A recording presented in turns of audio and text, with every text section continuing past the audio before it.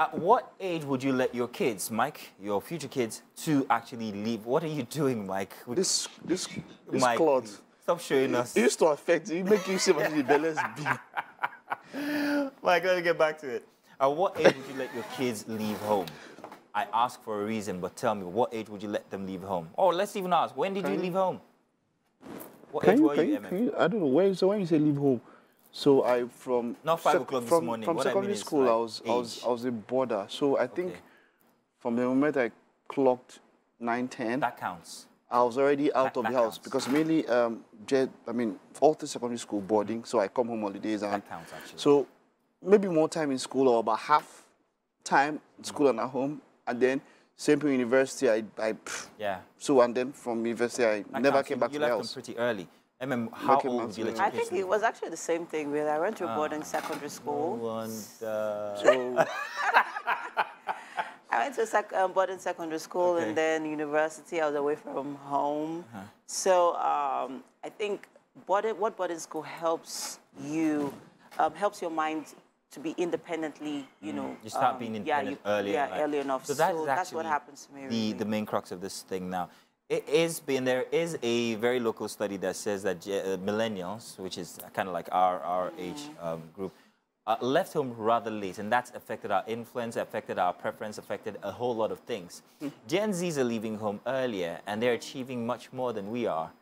They say the millennials are kind of like laid back. Our parents were like, oh no, I've, I have money, I'll take care of them. Stay at home till you're 30, 33, maybe even 35. While millennials are leaving home at what, 18? Oh, well, is there a 16? statistics really to No. back that up? Because, I mm-hmm. mean, mm-hmm. over the years, we a lot of people, well, in my circle, really, that mm-hmm. have left home early was due to childhood trauma.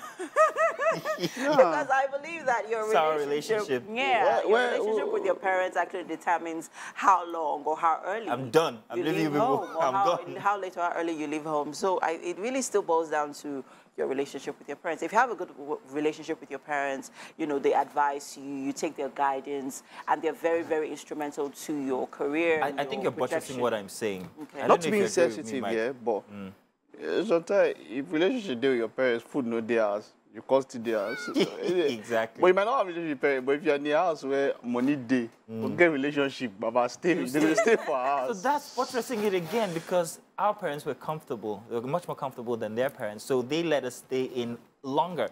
And it would seem that millennials are not as ambitious. We're not as ambitious as Gen Z.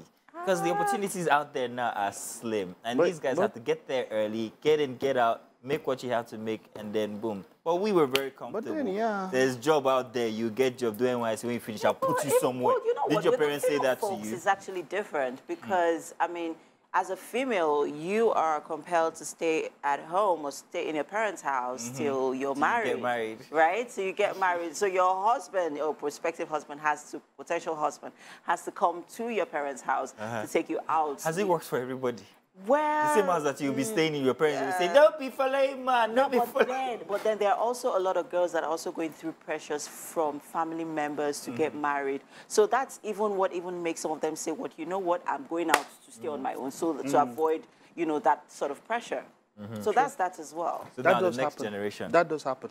But you know, these things, yeah, they, they actually function different ways in different customs and code. I, I know in the US, if a man of marginal age stay with his mom, it's not a big deal. no, the, the, the, yeah, people. not a big deal. Actually, people.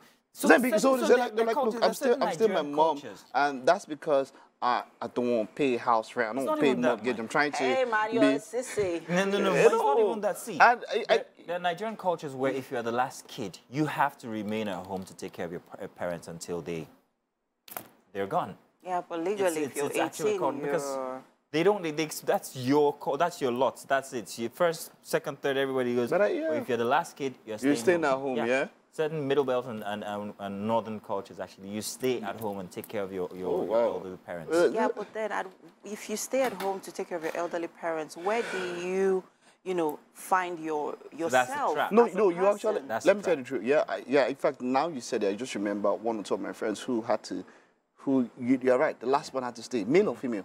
Yeah. It doesn't matter. It's almost like your, your life will be on pause. Yeah. Or you make sure that your life revolves around, Around them. them. You or live not where not they around them or around Yeah, where yeah, they of are. course it would have Yeah. to revolve around. No, but there are them. sometimes it doesn't happen. There are sometimes the person know- actually just stays at home and know the takes funny care thing? or is just You around know the funny and thing? being there for the, be there for the parents. I live in Festac. My parents live in Festac as, as well. Yeah. And I love them so much that I actually built my life around. them. Around them. So, and I'm the last kid. So it's not Mm. So, my yeah. culture, but I just had that, you know. But yeah, you were able to, do opportunities were able to but there's some people whereby the parents are maybe in the village or something. And then they, I, I know a a friend whose one. brother had to stay back. In fact, she had to go back from time to time until her dad passed. Mm. She had to go back from until the last kid was just there at home. Mm. Wow. But just there at home. And and I, I found I, I there's nothing wrong. I think family is family is as some people would say, Yeah. can be everything. Yes. But with Gen Zs, we see more of them. Now you see Gen Zs who will not probably see their family members till they pass on. They- because now, yes. not coming you back. see japa syndrome. People now move away and you don't even see your, bro- your brother had gone to Canada. You, you've gone to Australia. Probably might So you might not see them- until- It's still that Until whenever. mind I'm talking about because when you, we had parents who were never home most of the mm-hmm. time. So it, you, it's you you grow up, you know, taking care of yourself, taking care of your siblings. So that independent mindset actually makes you want to just, you know.